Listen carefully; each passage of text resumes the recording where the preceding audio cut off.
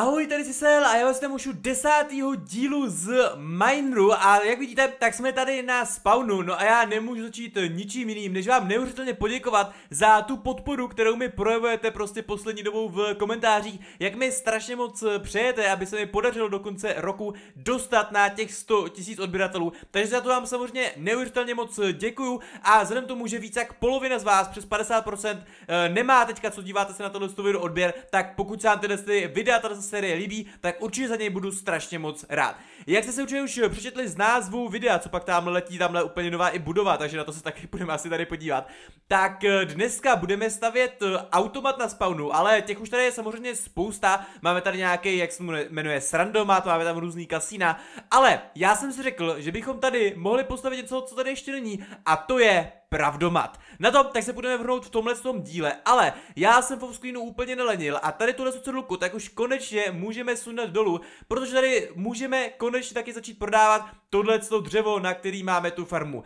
Přiznám se, nemáme ho tady zatím úplně moc, máme tady jenom takhle pár staků, tenhle ten možná takhle vidím, aby tam bylo, že jenom plný staky, ale prostě už je to otevřený, aby, tam, aby se mohli prostě přijít lidi, kteří budou chtít. Uh, dal jsem cenu uh, jednoho diamantu za dva staky, to, to si myslím, že je dost uh, férová cena, vzhledem tomu, že tam musíme poměrně dost dlouho avkovat, ale já jsem na té farmě provedl nějaký vylepšení, na ty se určitě potom budeme podívat, ale nejdřív tak bych si tady chtěl prohlídnout tenhle ten spawn, protože tady je úplná tuna nových nových věcí. Já když jsem sem právě šel doplnit to dřevo, tak jsem si všiml tady tyhle ty obrovské věci, která absolutně netuším, co to sakra je.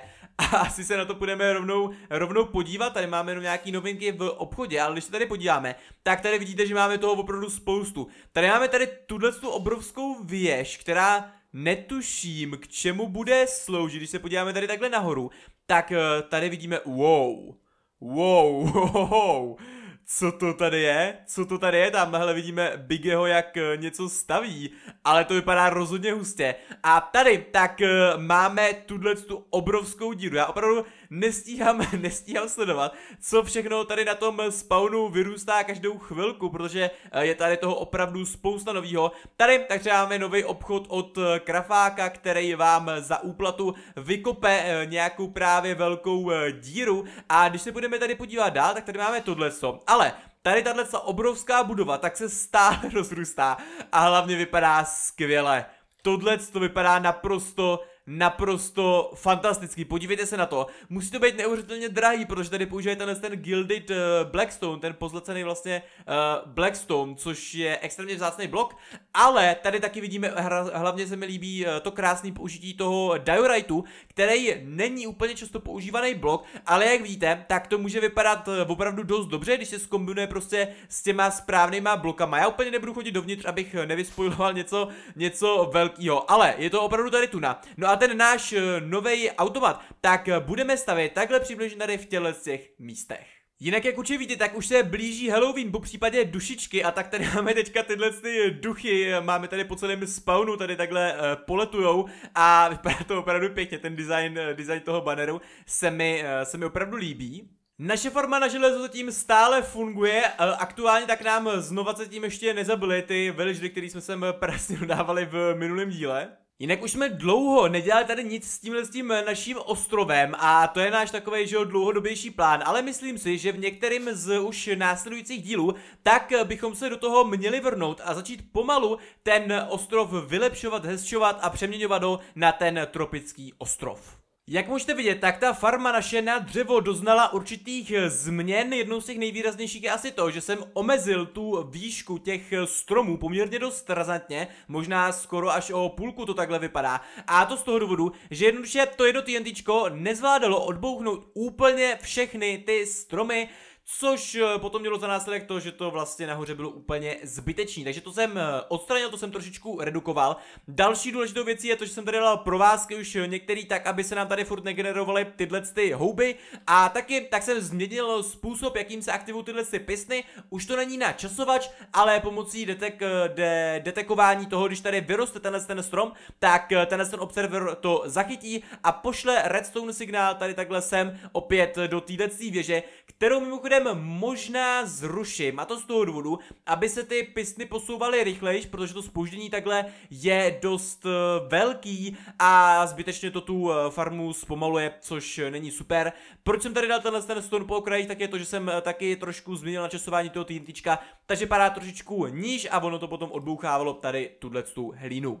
Jsme zpátky tady na spawnu a tady máme tuhle tu velkou hlavní cestu, která tady jde na tuhle tu takový mini náměstíčko křižovatku. No a takhle tady vede tahle další cesta, na obou stranách tak už jsou nějaký věci a my tak ten náš automat postavíme hnedka tady vedle tohle z toho nového automatu 3000, tady jsem si na to zvolil takovýhle krásný eh, místečko, snažíme se to nějak asi zarovnat tady přibližně s tímhle s tím, tak aby, eh, aby to prostě vypadalo hezky a nebyly tady ty uh, různé věci úplně náhodně. Nejdřív tak tedy vykopám, eh, vykopu tady tuhle nějakou díru, do který potom budeme dávat veškerý redstone.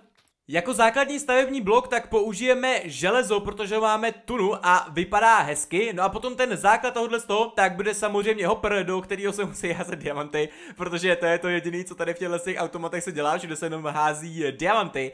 A tady dole, tak eh, samozřejmě dáme čestku, do který to bude putovat. Sem dáme další hopper, eh, tady už asi úplně železný bloky potřebovat nebo nebudeme muset eh, používat, tady to nebude vidět. Ale z tohohle z toho hopperu, tak budeme detekovat signál pomocí komparátorů. Já si tady s dovolením vezmu nějaký tyhle ty redstoneové věce, tak aby jsme tady mohli nerušeně stavět.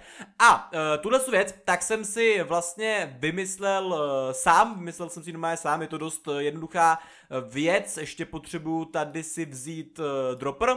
Super, super, super. Uh, nejsem si teďka jistý, jestli tady potřebuju tenhle ten tenhle ten, ten tady určitě nepotřebuju, ale uh, dáme si sem dropper, proti tomu, tak dáme tenhle ten hopper.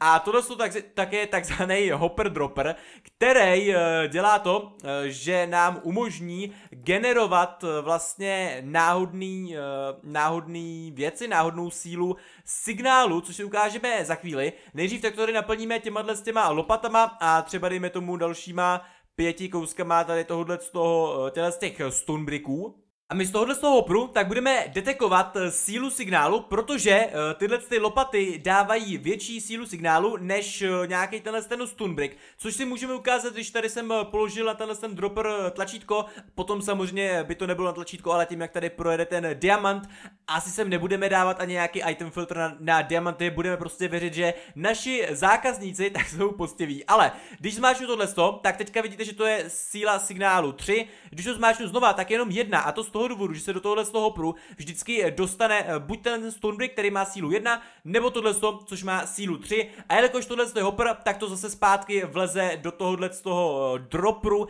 tak aby to bylo připravený potom na další, další ten diamant. Tohle je asi část, která mi trvala nejdíl vymyslet, když jsem to navrhoval a právě vymýšlel. A to z toho důvodu, že když mi tady takhle to dáme, já to tady ještě možná dostavím, tak abyste si to potom mohli líp představit, takže tady dáme takhle torčku, potom jednu torčku z téhle strany a tady takhle napájíme to do téhle torčky, respektive do tohohle z toho, do tohohle z toho bloku. Tady máme nějakou, nějakou návštěvu od uh, Pedra, výborný, výborný. A Nakašio tady zkoumají, co to tady všechno bude. V těch shulkerboxech úplně toho moc nemám, jsem velmi chudej pořád. My to tady ale budeme teďka dodělat a ten problém s tímhle s tím byl trošku to, že když máš tu, tu, tu trojku vlastně, když se vám tady zapnou oba dva tyhle ty, tak je problém s tím, že se nám zároveň aktivuje i ta jednička a tudíž my musíme zaručit, pokud se aktivuje tahle trojka, tak se ta jednička vlastně vypne, k čemuž slouží tady tenhle ten eh, repeater, bez eh, kterého, kdyby tam nebyl, když mi to teďka zapneme, tak tahle točka zůstane vyplá, ale když bychom tohle jakoby zrušili a i tak tam spadá trojka, tak tohle se zapne, i když by se nemělo, protože byla zaplá trojka a ne právě ta jednička. Takže doufám, že jsem to vysvětlil aspoň trošku logicky, víceméně to prostě jenom ohlídání, ohlídání toho o tomto vlastně je.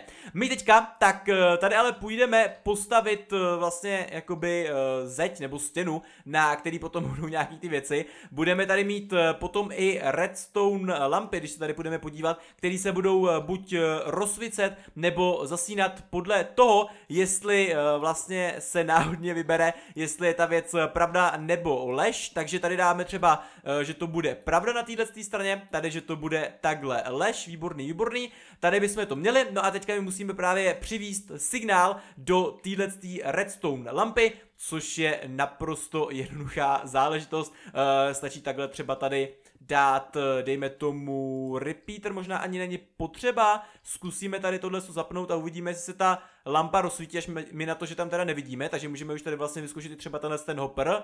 A očividně se nic nestalo, ale to je možná tím, a tady se něco děje. ale tohle se nerozsvící. Uvidíme, jestli... Jo, jo, jo, super, super, funguje to, takže to fungovalo úplně krásně, že jo? Přesně tak, jak jsme chtěli, předtím ten signál uh, nebyl, nebyl tady tenhle, vždycky tady byla ta trojka, proto se to nerozsvícelo, ale teďka tak to funguje krásně, takže tady my si můžeme vzít eh, zpátky tyhle ty itemy. No a teďka tak já už tady jenom napojím tuhle tu druhou lampu. Ještě než to tam doděláme a budeme si ukázat, jak to všechno funguje, tak bych konečně chtěl tady tuhle tu farmu na to obilí zprovoznit, jelikož když se tady podíváme, tak já jsem tady měl spoustu vesničanů, ale nějak zmizely. Předpokládám, že se k ním dostal zombík, možná tady přes tohle to nějaký mini zombík, ale to mi nedává smysl, protože tam je ta voda, prostě absolutně nechápu, jak zmizely, možná nějaký bug, ale ono to je celkem jedno. Tahle farma je dostatečně výkonná na to, aby jsme si mohli kdykoliv udělat další vesničany. Jediné, co potřebujeme, potřebujeme, tak je ten chleba. No a ten aktuálně získáme jenom z té naší velmi, velmi už starý, eh, vlastně úplně ruční eh, farmy na obilí,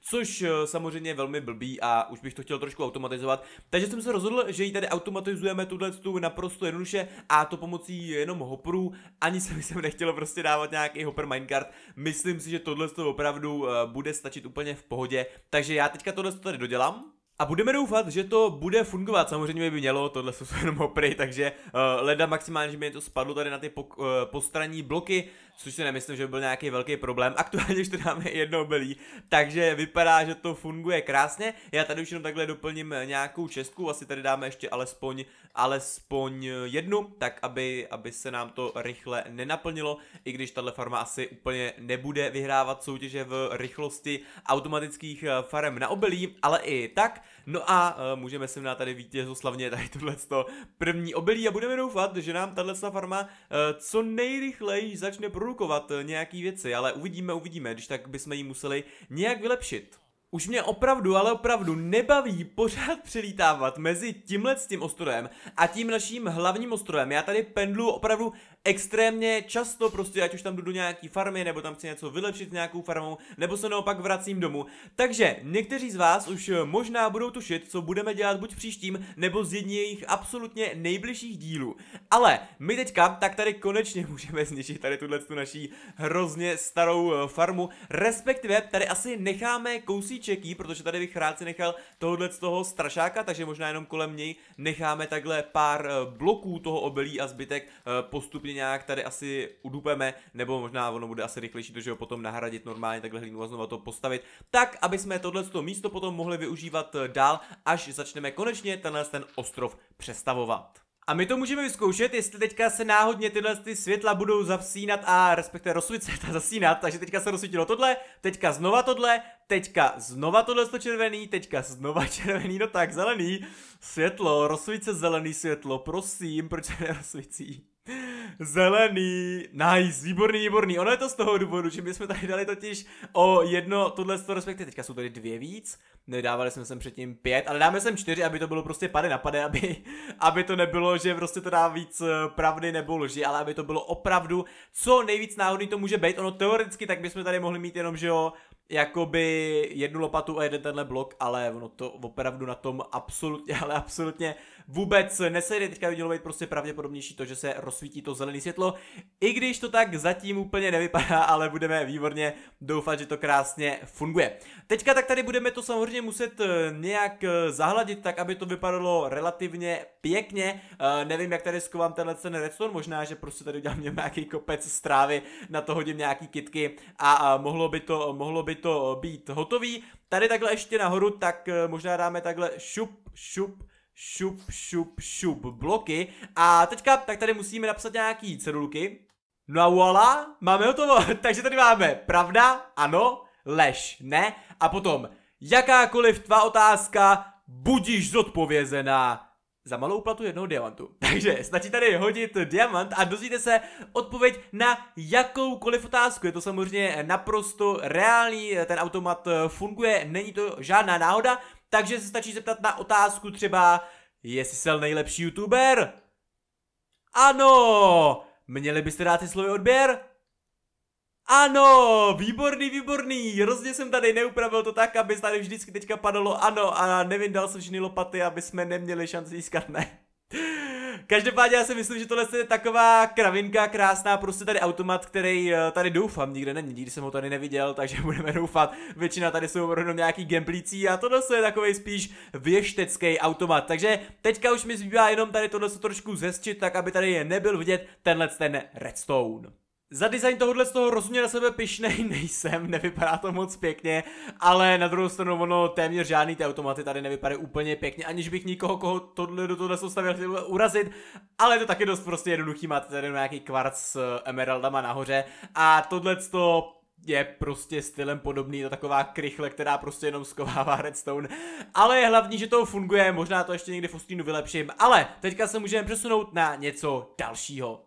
No a my tak se můžeme jít eh, podívat na tu naší piglení farmu z minulého dílu, protože jsem si byl právě už eh, koupit v offscreenu eh, zlato a nechal jsem tady ty pigliny chviličku obchodovat, zase tady musíme trošku nějak projít kolem tady tohohle z toho hoglina. Zároveň tak už jsem to tady samozřejmě automatizoval pomocí těchto těch hodin, který jsem teďka tady vypnul, jsou to normální EATovy hodiny, takže to je všechno naprostá klasika, ale tady máme hezky ty pigliny a když se podíváme, už jsem ty itemy trošku zetřídil, tak máme tunu věcí, máme tunu věcí. Jsem eh, z toho strašně nadšený, je to naprosto super. Máme tady prostě tunu kůži, kdybyste potřebovali vykraftit eh, spousty knížek. Máme tady tenhle ten nádherný Blackstone, jeden z absolutně nejlepších a hlavně nejužitečnějších eh, nových bloků v 1.16. Nějaký enderperly, nějaký netherbricky, hlavně taky stringy, ty třeba ve svém let's play tak je pro mě obtížný poměrně získávat právě když jsem měl tuhle tu farmu. Máme tady hlavně ale tenhle ten Crying Obsidian a to skoro tři staky, což je skvělý, určitě budu potřebovat ještě víc, ale je to velmi dobrý začátek. Plus samozřejmě tady asi 6 staků kvorce, což taky není vůbec eh, k zahození. Tady dokonce i stak normálního obsidianu a tahle česká je prázdná, protože jak jsem říkal, jsem to různě setřizoval. Takže tahle farma je podle mě velký úspěch. I na to, jak vlastně je super jednoduchá, tak stačí opravdu jenom tady doplnit do tohohle z toho prostě pár staků zlata a máte z toho za chviličku opravdu hromady a hromady materiálu. Jo, ještě jsem málem zapomněl, tady za náma jsou další dvě čestky a v nich tak máme tyhle ty poušny uh, Fire Resistance, takže to je taky určitě super, to se bude hodit, až uh, někam budeme zase muset jít uh, cestovat po Nedru. Jinak co mě hrozně baví, tak je vždycky tady vyletět, takhle letíme hezky sem, pak se otočíme tady tímhle s tím směrem a můžeme krásně tady prolítnout eh, sem do téhle naší místnosti. Eh, super zábavně je to taky eh, vylítávat naopak takhle ven. Dneska tady s touhle místností už nic dělat nebudeme, to si necháme na někdy jindy, ale chtěl jsem jenom ukázat to, že když bychom kopali vlastně chvíli tímhle s tím směrem, možná trošku ještě takhle doleva, tak bychom se potom poměrně velmi rychle, no možná trošku víc, ale e, dostali bychom se prostě tady k téhle naší farmě na železo, respektive, ježiš, jak jsme vyskočili, respektive takhle tady dolů, což bude samozřejmě super, protože si to budeme moct krásně propojit s tou e, naší e, baskou a nebudeme se potom muset líst furt tady těma těma trapdoorama, takže na to se určitě dost těším. No a ještě takhle na konec dílu, tak se budeme podívat, eh, kolik, ne, respektive jestli už něco jsme vydělali tady v tomhle tom našem novém obchodě. Já jsem eh, nikomu ani neříkal, že tohle je otevřený, jenom jsem tady zrušil tuhle celku a uvidíme, jestli už jsme něco prodali a No výborný, wow, tak to jsem ani nečekal, ty krásu, 1, 2, 3, 4, 5, 6, 7 diamantů, takže 14 staků, rozhodně asi budu muset avkovat u té farmy, aby jsme pořádně tohle nafarmili, protože vypadá, že o to je dost velký zájem, takže to jsem eh, mega rád. Tohle co tak už ale všechno z dnešního videa, když se vám líbilo, pokud ano, tak rozhodně nezapomeňte dát like, pokud nemáte, tak budu určitě strašně moc za odběr, no a já se budu do nějakého dalšího videa zase někdy. Takže čus! Take me